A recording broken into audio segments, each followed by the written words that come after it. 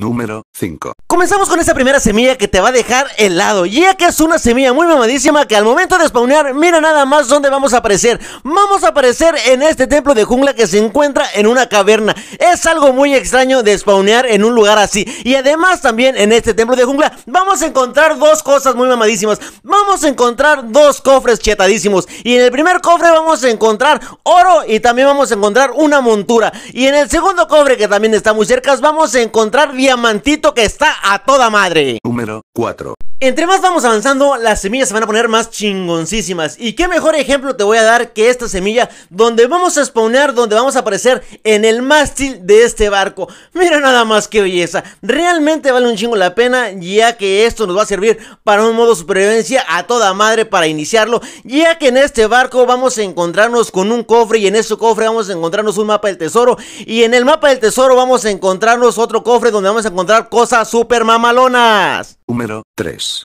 Este tercer puesto se lo lleva esta increíble semilla Porque mira nada más dónde vamos a aparecer, dónde vamos a spawnear. Vamos a hacerlo en medio de esta pirámide Donde vamos a encontrarnos también afuera de la pirámide Lo que es una aldea de desierto Donde vamos a encontrar mucha comida para iniciar nuestro survival. Y además que también en el fondo de la pirámide Vamos a encontrarnos cuatro cofres para equiparnos a toda madre Donde vamos a encontrarnos libros encantados y también esmeraldas. Número 2. Uy, esta más que una semilla es todo un reto y es más, te propongo a que lo hagas. Llega el momento de spawnear, vamos a hacerlo encima de esta mansión Pilayer. Algo realmente muy, pero muy chingón. La verdad está con madre porque vamos a encontrar muchos cofres dentro de la mansión. Vamos a encontrar a estos evocadores que al momento de liquidarlos nos van a dar totem de la inmortalidad. Y debajo de lo que es la mansión vamos a encontrarnos una épica caverna. Número 1. Ya para finalizar con estas semillas mamadísimas te traigo este primerísimo lugar y